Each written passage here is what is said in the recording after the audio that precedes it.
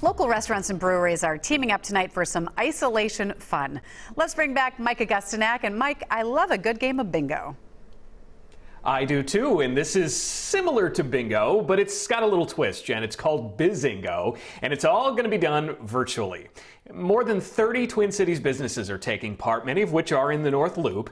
You have to pick up a bingo card from the restaurant or brewery, or if you order delivery, the card will come with it. Now, people lined up last week to pick up their cards, and there were some pretty long lines. Once you have that card, many chose to cover it with uh, whatever they had. As you can see, food was a popular choice. The idea is to help small businesses, of course, but also to give people something to do while they're stuck at home. We wanted to find a way that people could come together and play together like you would at a regular restaurant or you know or a bar or a brewery, um, but still then encourage people to you know go and stop by their favorite um, breweries or restaurants. So it was closest thing we could find to having Saturday night game night, but we still wanted to make sure that there was some encouragement to support the local businesses who've really been affected by the shutdown.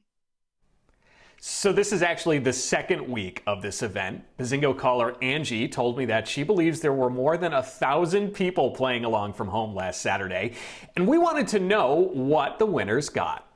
So all of the restaurants and breweries have graciously donated either gift cards or growlers as prizes for Bizingo. So we have up to 30 locations participating this week. So 30 prizes to give out to Bizingo winners. We're going to be calling five rounds. So lots of prizes to give away.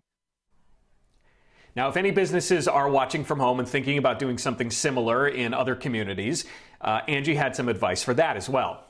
We faced a lot of roadblocks just in the two weeks of us doing it, kind of de- dealing with the Minnesota Gambling Board, for example. So, of course, it has to be a free game. Um, you can't use the word bingo. Don't do that. And just keep it fun, keep it interactive, um, keep it free.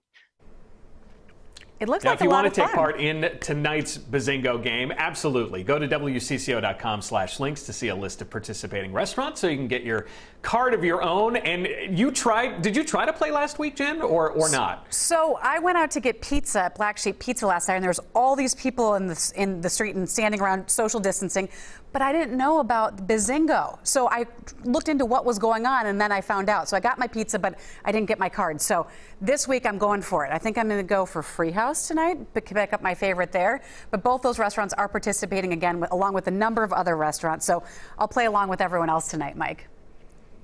Well, you did end up with pizza last week, and that's not that's not a total loss in my opinion, particularly uh, Black Sheep. Yeah, definitely a win, and at least